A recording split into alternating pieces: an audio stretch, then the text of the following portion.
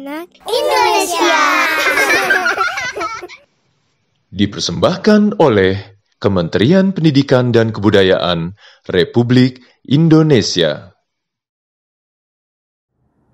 Halo anak Indonesia, perkenalkan nama kakak Wenda dari Rumah Dongeng Sumba.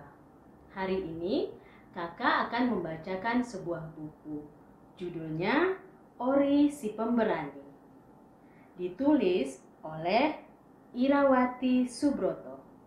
Ilustrator Gary Adams. Diterbitkan oleh Pelangi Mizan. Di sini ada anak orang hutan sedang berayun. Bagaimana ya ceritanya? Yuk kita baca.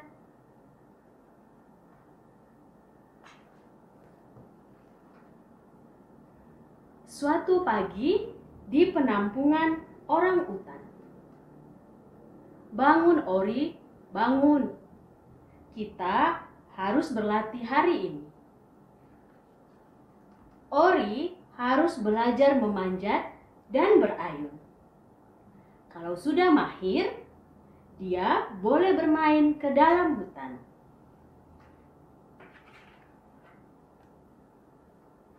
Karena itu, Ori harus giat berlatih. Ori berlatih bersama Ito. Ito, guru terbaik bagi Ori. Ito memanjat tinggi-tinggi. Ori memanjat seperti Ito. Ito berayun cepat-cepat. Ori berayun seperti Ito.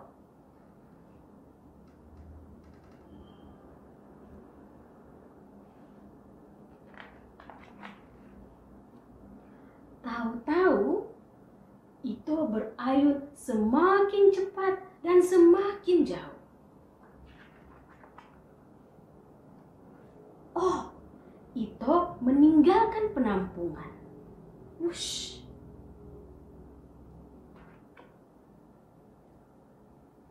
Ori mencari Ito di dalam hutan. Ori ingin bersama Ito lagi.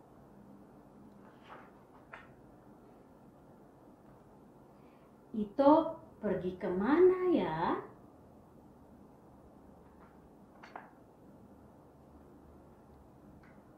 Ori memanjat, memanjat, dan memanjat. Ia pun berayun, berayun, dan berayun. Gerakannya semakin cepat dan lincah.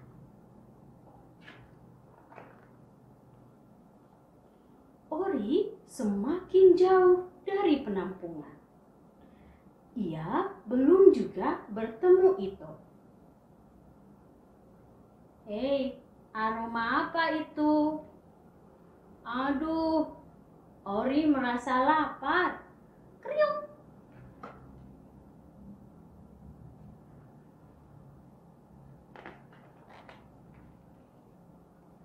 Ori mengikuti aroma itu. Ori pun makan durian. Ori ditemani orang utan lainnya. Itu tidak ada di sana.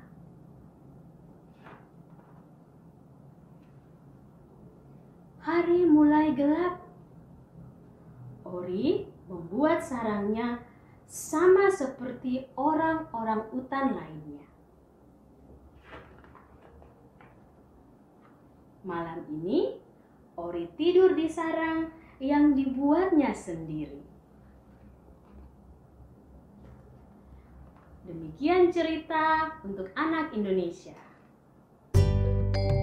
Pendongeng Kak Wenda Rumah Dongeng Sumba Solidaritas Perempuan dan Anak Sumba, Nusa Tenggara Timur Buku Ori si Pemberani. Penulis Irawati Subroto. Ilustrator Gary Adams. Penerbit Pelangi Mizan